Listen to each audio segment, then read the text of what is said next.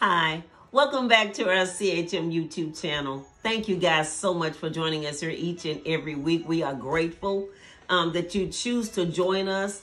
And if this is your first time, then we say welcome to our CHM YouTube channel, which is also called Wednesday's Word, where we come each and every week with a word from the Lord, from His heart to you.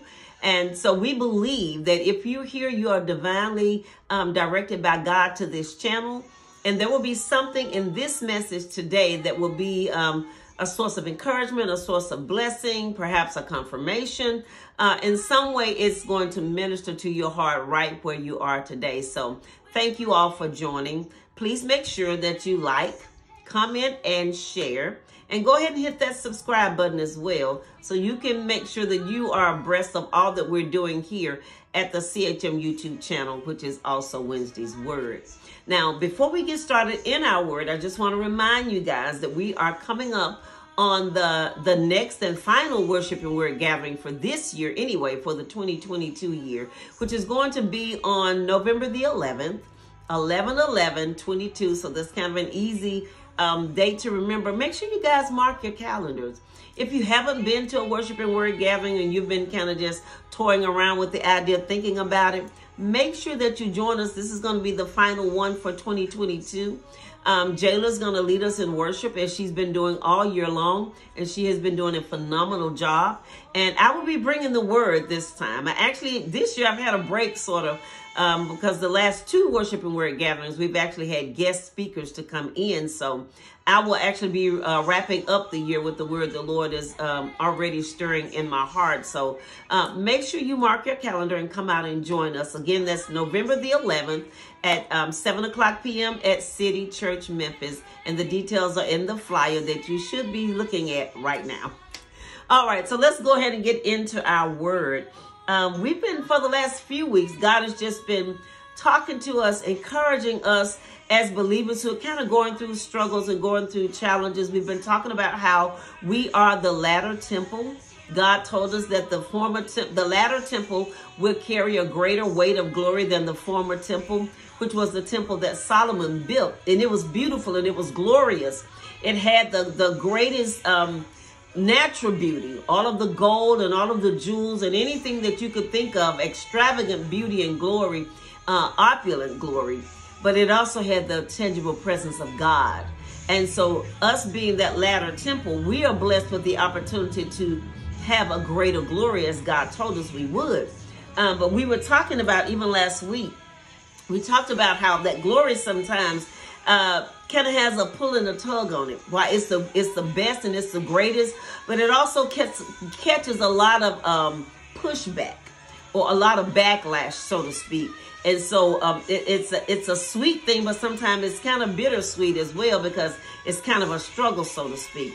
But last week we talked about how um, we ought not uh, consider it some strange thing. We were looking at um, First Peter chapter four, and he said, "Don't count it as some strange thing when you go through fiery tri- trials, like something uh, uncommon is happening to you. But that's just kind of par for the course for us who are believers." Uh, Second Timothy three twelve said that. Uh, all of us who have chosen to live passionately and to and faithful worshipers of God, then we're going to go through persecution. You know, even Jesus told his disciples very clearly, in this world you will have trouble.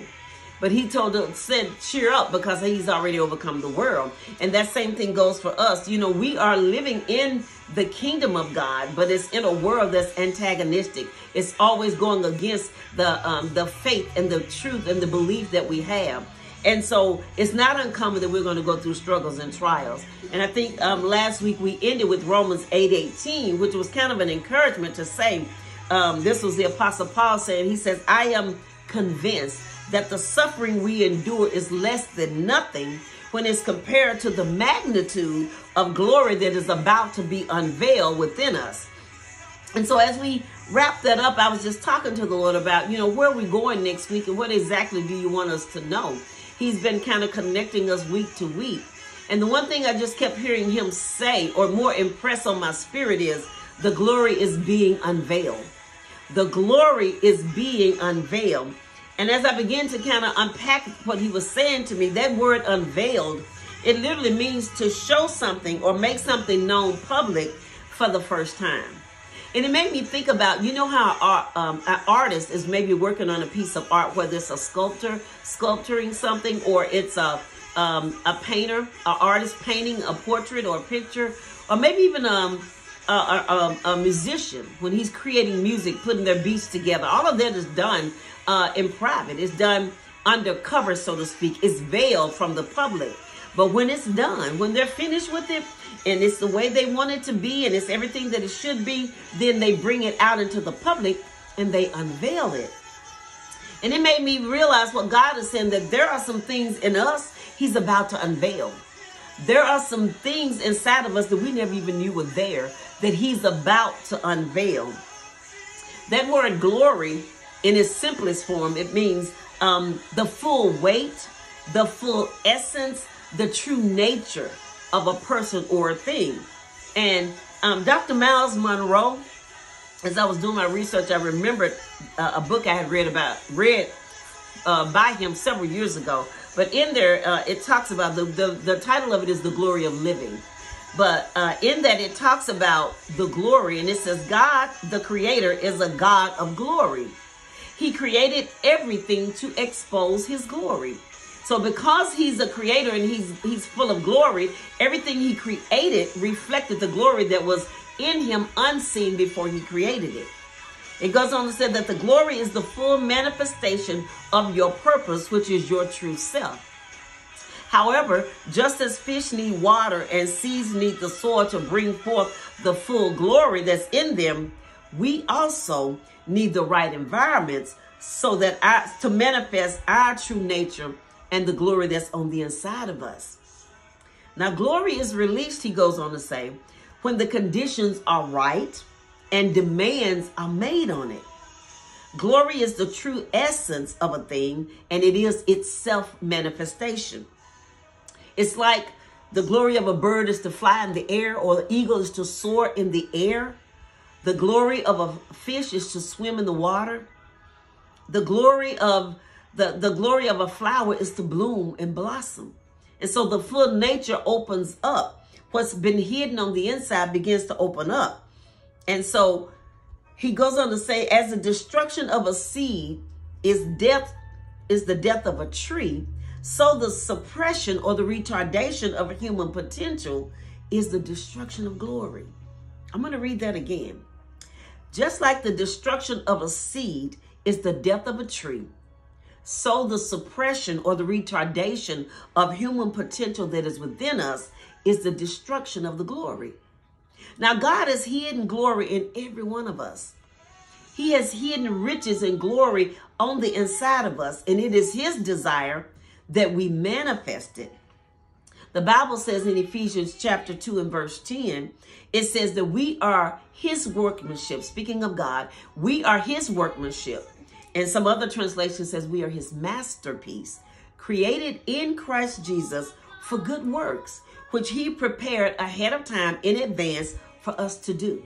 So God has these seeds of glory and greatness hidden on the inside of us, and he wants those things to manifest. And so God is about to manifest. Now, not that we haven't been manifesting glory. Whatever it is that you're doing now in your present day, your work, your family, your job, your ministry, that is manifesting glory. But how many know God has layers and layers of glory hidden on the inside of us? It's not just one thing. There's multi layers that God have hidden on the inside of us. There may be multiple things he wants us to do. I'm a wife. I'm also a mother. I'm a preacher, a teacher, a minister of the gospel. I and I work on a job. I'm a prayer warrior. There's a number of layers of that that I didn't know all of that about myself initially. It took God getting me in a position where there was a demand put on that glory and it had to come out. It had to unfold. And so it goes on to say, as he said earlier, that the seeds of glory hidden on the inside of us, as Myles Munroe said, that glory is released when conditions are right and there's a demand that's put on it. So we have been in some situations and circumstances over the past several months that we ourselves would have never chosen. Yeah, I know. I know it. We are in circumstances that we would not have signed up for. But God have allowed us to go through some things. He's put us in some situations and circumstances that, uh, yeah, quite honestly, he could have stopped it. He could have changed it. He could have intervened. We went through fiery trials. There are some things we've been through that we don't understand and we don't necessarily like. But God has allowed us to go through those things because, quite honestly, you all, until we get our back against the wall sometime, we're not going to be able to manifest the glory that's on the inside of us. You know, we talk about the glory of a thing is the, the full nature of it. And you know, as mud, as wonderful as grapes are, the glory of the grape is to become wine. And you know how a grape becomes wine? It's it's smashed or it's crushed because the juices won't come out until it's crushed. And so sometimes God's put us in difficult situations where we feel like our back is against the wall and we feel the pressure, but it's God getting ready to make the to cause the glory to be revealed. You know, we talked about a couple of weeks ago about a diamond. And you know, when we think about shine bright like a diamond, we all like we all like the idea of that. And we like the idea of the end result of shining bright like a diamond. But if you remember, we said that in order for that coal to become diamond, it has to be under tremendous amount of pressure and heat. And so many of us have been going through situations that have caused us to feel pressure and where we've been under a great amount of heat. But like we said, God is making us diamonds so we can shine bright. Or God is causing the glory that is hidden deep in us to manifest. And we may not like the circumstance, but God knows what he's doing. He knows what he's doing. And I'm going to stop here to encourage you with this last verse. As I sought the Lord, I was like, God, so what exactly are you saying? And he took me back to Isaiah chapter 40. We talked about this a few weeks ago where I said, com- well, we talked about comfort, comfort God's people um, because it tells them that their warfare is over. Um, and so he took me back to Isaiah chapter 40. Actually, he's been ministering to me personally from this chapter really throughout the entire year. I had I didn't really understand that I would go through all of what we've been through or even continue to walk through now. Um, but I understand it better and it makes it worth what we've been through. But it goes on to say, we're starting at, at verse 3, and it says, Clear the way through the wilderness for the Lord, make a straight highway through the wasteland for our God.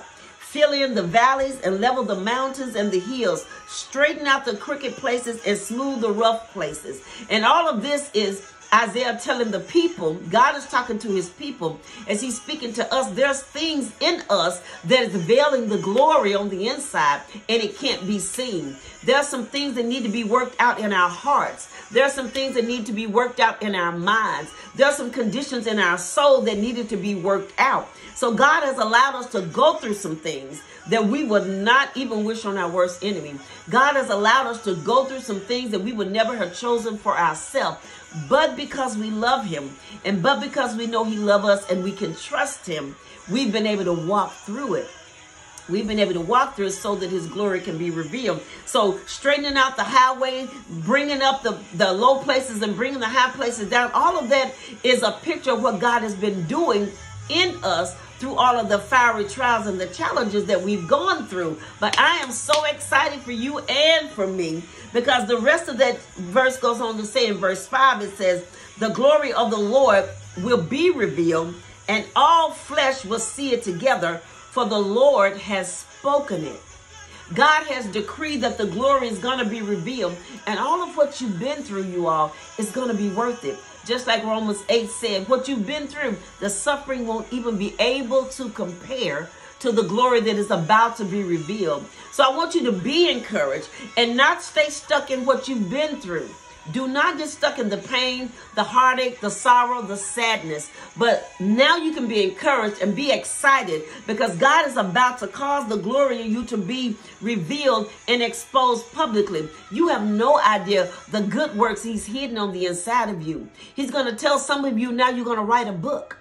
Some of you now you're going to preach your first sermon. Some of you now you're going to get your passport and be ready to travel across the nations. You have no idea the things he's hidden on the inside of you but they can be revealed to you by the Spirit as you continue to trust God. So be excited, be encouraged, and expect the glory of God to be revealed in your life and in those around you. Amen. Let me pray with you. Father God, in the name of Jesus, we thank you for your faithfulness. We thank you for your mercy and your goodness. God, we are so excited at what you are doing in the lives of your people. Your word is true, God. You said you will faithfully, God, reward your people for their suffering. You have the record, God. You know exactly what your people have suffered through. You know exactly, God, at the hands that they've suffered through it. And Lord, now in this season, you are getting ready for the glory to be revealed. You are moving back every obstacle that has the glory veil. You are removing the hard attitudes and the pain, God, that has shrouded the glory in darkness. And now, God, the good works, the things you stored up on the inside of your people, the goodness and the greatness, God, is about to be revealed. And Lord, they will be able, we will be able to look back and say, God, it was worth it. And God, thank you for putting me in that situation that I would have never chosen for myself. That my light will shine, God, for your glory, that men may see my good works and glorify you, our God who is in heaven. Father, we thank you now, God. We are excited. We say, God, have your way. We say, God, continue to have your way. God, continue to have your way in us because you're removing everything, God, that will block and shroud the glory so that it can shine bright, God, that we can really shine bright like a diamond for your glory, God. And so we thank you, Lord, for what you're doing. We yield and surrender our spirit, soul, and body to you. And we say, God, let it all be for the greatness of your name, for the expansion of your kingdom, and for your glory alone. In Jesus' matchless and mighty name we pray. Amen. Amen. Listen, thank you guys so much for joining us. I want you to be encouraged and excited at what God is about to do in you and what he's about to do through you so he can get the glory for it all. Listen, love you guys. We'll see you back here next week. Shalom.